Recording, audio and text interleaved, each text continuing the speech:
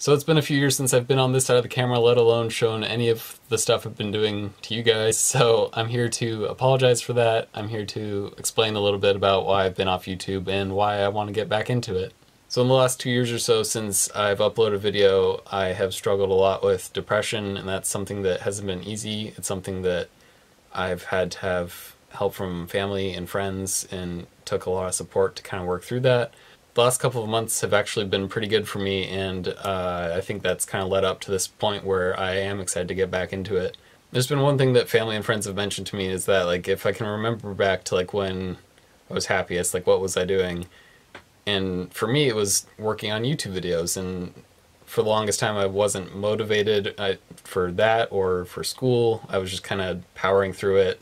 I didn't really have whole lot of drive to work on anything. Now that I'm in a better place, that's changed, and I'm excited to get back into it, excited to do YouTube videos again.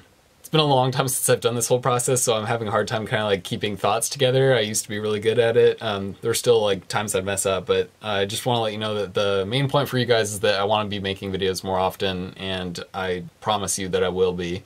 Um, I have to come up with a schedule, but this is the first time in a long time that I've actually had this drive, and I'm excited to get back into YouTube and to engage with you guys. That was one of the most fun things about having the channel is to like put up content for you guys to see, and then you could put feedback on it, and then I could see that and respond.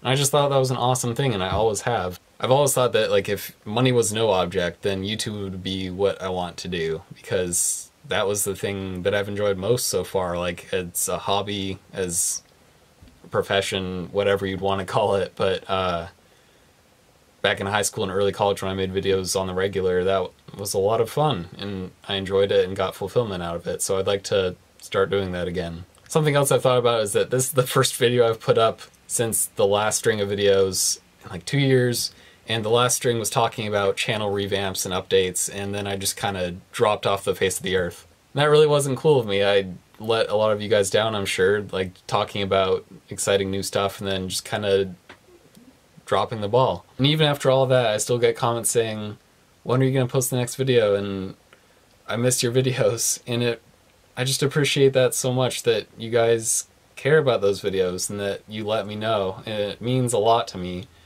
and over the past two years, sporadically, I'd try to reply to comments as not as often as I could. I got really bad at that, but I I did try to reply to you guys, and just knowing that that support was still there meant a lot to me, and that's a large reason of why I want to get back into this because you guys are awesome, and I want to keep making content for you, as well as it makes me happy. I, I like this whole process, so. Um, I look forward to making more videos for you guys, and as always, I will see you in the next video.